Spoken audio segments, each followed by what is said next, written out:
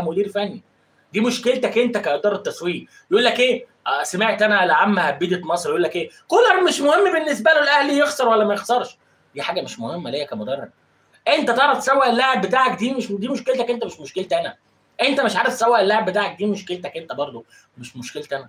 وفي ناس تقول لك إيه ما يا جدعان ما, ينفعش إن أنتوا تسربوا الاجتماع. أصل اللعيبة هتبقى عارفة. لعيبة مين اللي هتبقى عارفة يا كابتن؟ أنت فاكرك إن اللاعب اللي بيتمرن كل يوم مع كولر مش عارف إن المدرب مش عايزه؟ فكرك إن اللاعب اللي بيلعب مع كولر دلوقتي مش عارف إن هو بيلعب عشان خاطر دي مرحلة rotation ومرحلة الفريق فيها مضغوط؟ صباح الفل يا كابتن. أنت بتتكلم على لعيبة لا مؤاخذة يعني لا أرى لا أسمع لا أتكلم. اللعيبة اللي عندها عروض عارفة إن عندها عروض. اللاعب اللي جاي له عروض من السعودية عارف جاي له عرض من السعودية وعارف ياخد كام. آه والله العظيم يا كابتن مش بهزر معاك. اللاعب اللي بيبقى جاي له عرض عارف ياخد كام وعارف الدنيا بالنسبة له هتمشي إزاي أول ما يروح السعودية أو أول ما يروح أي حتة. يا صاحبي مش عايزين نهجص على بعض ومش عايزين نعيش في مية البطيخ كتير.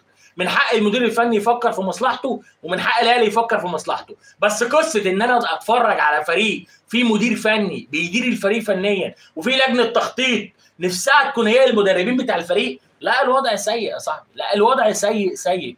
لجنة التخطيط كل دورها إن هي بتعقب على اختيارات المدرب. طب معلش هل أنت بترشح لي لعيبة؟ أنا برشح لك لعيبة وكلهم ما بيعجبوش المدرب.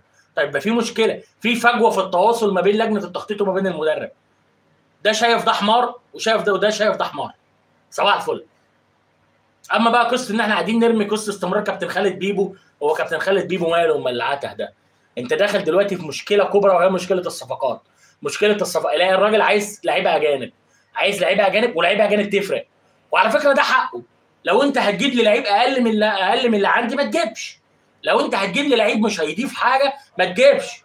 ما هي القصة مش قصة إن أنا عندي لعيبة محترفين أجانب وخلاص. الاهلي عنده لعيبة أجانب بس ما بيلعبوش.